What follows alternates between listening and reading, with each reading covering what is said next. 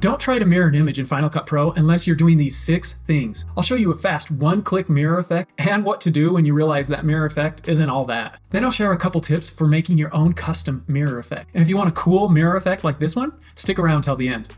All right, the fastest way is to use the mirror effect. In Final Cut Pro, click on the effects browser right here, then go down to the distortion category and look for the mirror effect.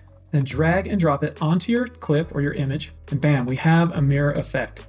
You'll see this on-screen control right here. We can move where the mirror happens. We can also rotate it, so we could turn it into a horizontal mirror or an angled mirror.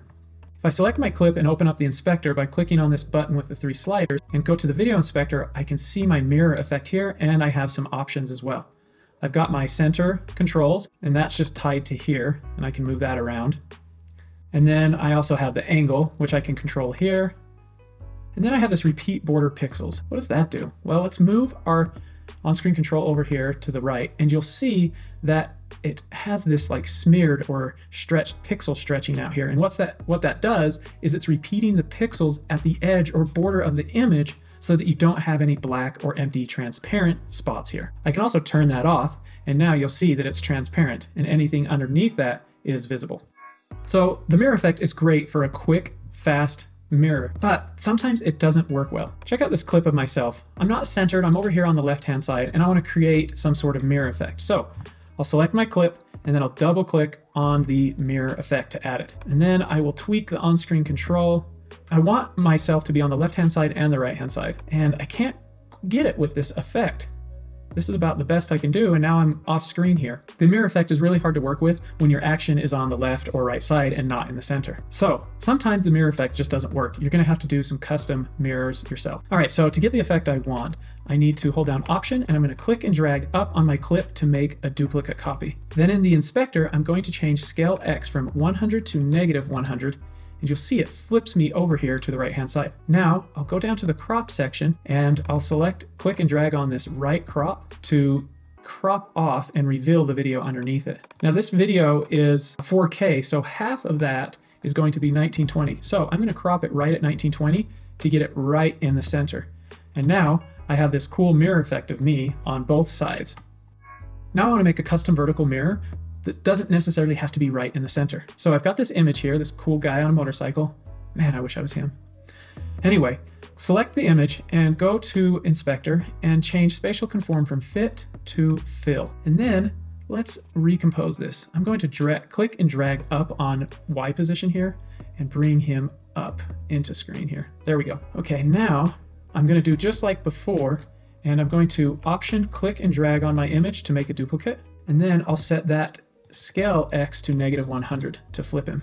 Okay, nice. Now I want the crop or mirror to happen right here along the motorcycle, and I want it in the center. So first I'm going to click on View, and then click on Show Horizon, and I'm, going to use this vertical line that's right in the center to line things up. First I'll select my top layer, and let's move that motorcycle and then I'll click and drag on X down to move my image over to the left. And now I will also crop it. I'll drag the left crop to the center. And now I'll select my bottom clip and I'll click and drag up on the X value to move it over. I want to match it exactly, so I'll just double click on it and put in the opposite value, so 340. And then let's turn off the horizon, click on view and deselect show horizon. And now we have a mirrored effect with our motorcycle guy. So I gotta ask, are you getting this? Is it making sense? Am I doing a good job teaching? If so, will you let me know by giving this video a thumbs up? I'd really appreciate it. In a second, I'm gonna show you that really trippy, cool mirror effect. But first, I wanna show you how to make a horizontal mirror effect. Now let's do a horizontal mirror. Let's select our image and change the spatial conform to fill. And then let's duplicate our layer, hold down option, click and drag up. Now I want to flip him and make him upside down. So in the inspector, I'll change scale Y from 100 to negative 100. And then I'll click and drag on the Y value down to move him down in space. There we go. Now I'll drag this bottom crop slider to right above his face. There we go. Now I'll select my bottom layer and let's move it up. I'll click and drag on the Y value to move him up. There we go. But this top layer is still covering his face, so I need to bring it down a little bit more. If I hold down Option while I click and drag on that, it can fine tune the cutoff. It's still covering him up though. So let's bring our top layer image down just a little bit. There we go. Now we need to match our bottom layer, which is actually this top one. You'll see it's not doing our mirror effect. That's because we need to bring it up a little bit more. There we go. All right, now we can see our horizontal mirror effect. All right, now let's do that cool mirror effect that does it vertically and horizontally. But first, I want to turn on this horizon tool. I'll click View and then click Show Horizon. And then if I go down here to my effects, to tiling, I can click and drag this kaleidoscope tile onto my image and you'll see it starts to do a cool mirror effect like a kaleidoscope. I'll use this on-screen control to reduce how many times. Right now, you'll see that it's mirrored vertically and horizontally. Because see, we've got these four stripes here. We can see that. If I just want to do a horizontal mirror, I just keep going with this on-screen control, and now I've just got top and bottom. I can adjust where that happens. I can move it up and down.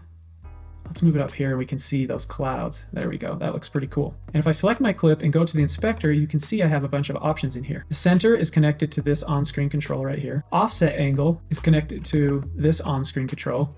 We can make some kind of trippy, weird Inception style mirror effects with that. And then segment angle is connected to this on-screen control. Now this effect looks cool on an image, but it looks even better on a video. Check this out. I've got this video of a boat speeding along, and if I drag and drop my kaleidoscope effect on there, and then tweak the on-screen controls, let's go for four segments. And then if I move this right here, kind of in the middle, I've got four different segments of this boat. Now check it out.